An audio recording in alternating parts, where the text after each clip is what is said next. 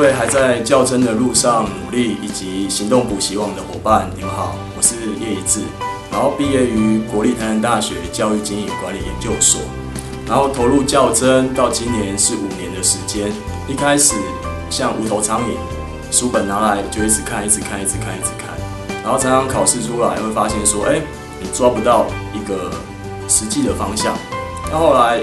有一个机会在 FB 看到陈毅老师。的一个网页，他知道他在行动补习网这边有一个课程在上。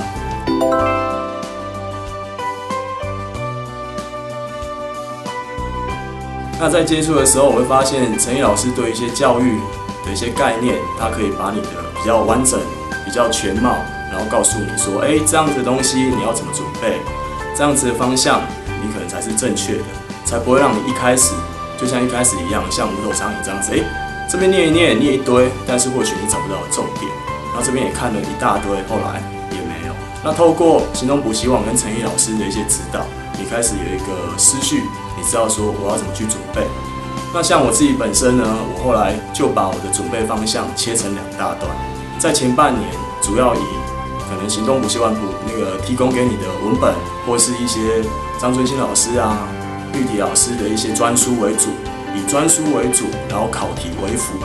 所以你在念累的时候，你可以写个一回两回。到了过年的时候，后半段你就变成以考题为主，然后文本为辅。因为你一开始你一定要先累积你的一些概念，你写考题的时候才会开始有点驾轻就熟的感觉。那后半段你当你都知道之后，你开始写考题，因为你如果考古题出来你不会，你就少人家那两分。所以考古题对我来讲，我觉得是很重要的。当你在写考古题的过程中，你发现，诶，在哪个区块里面，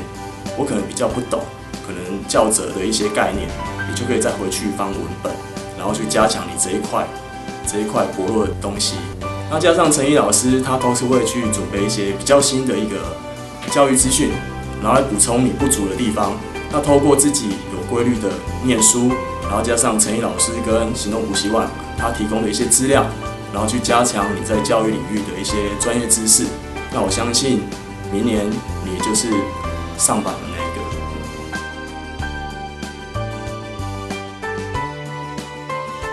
呃，我接触行动补习网的感觉，我觉得它跟一个实体补习或是面授课，它有一定的优点。一来，它时间是非常弹性的，你不用被那个实体课程，